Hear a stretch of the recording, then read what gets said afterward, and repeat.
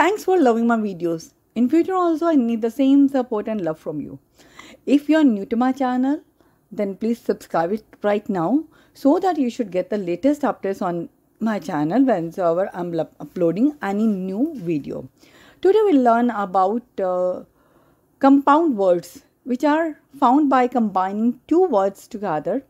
These are often found in OET listening, reading, writing and speaking. That's need, that's reason these have of a great significance and you'll need to learn these.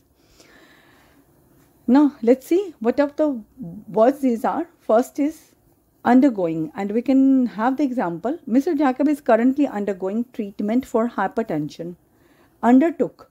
Mr. Sean undertook regular exercises to reduce her weight. Undergo. Mrs. Daisy was reluctant to undergo surgery because she overestimated the cost of it.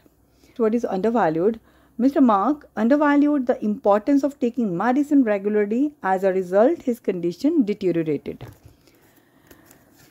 Underestimated, we cannot consider it a case of negligence, but the surgeon underestimated the size of the tumor. O outcome. Mrs. Stevens' recovery was the outcome of the intensive care provided to him. Then the next word could be outgoing.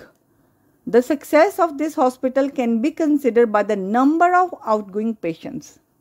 Updated. Doctor updated the Kents of Mr. Sam about his progress. Then ongoing. This is an ongoing process of treatment for her cancer. We can even uh, add chemotherapy. Chemotherapy is an ongoing process of the treatment for her cancer. Next word is overcome. Mr. John has to have proper compliance with his treatment to overcome the severity of his disease. Next word is output. His urine output was not satisfactory after the surgery. Then it could be input. Mrs. Na Mary's dietary input is insufficient.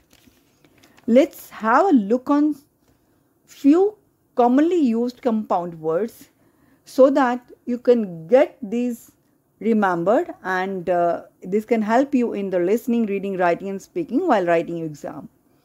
Afterbirth, aftermath, alongside, anybody, anymore, anyway, anytime, anything, anywhere.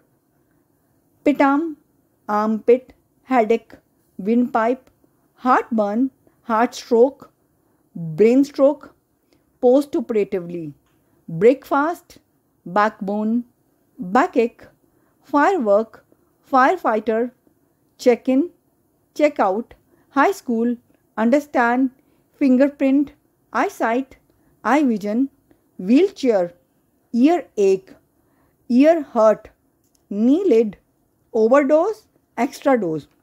Hope this video will be helpful for you. Stay connected, happy learning and must share this video with your friends and colleagues so that they should be able to get benefit from this video. So see you very soon with a new video. Till then, bye-bye.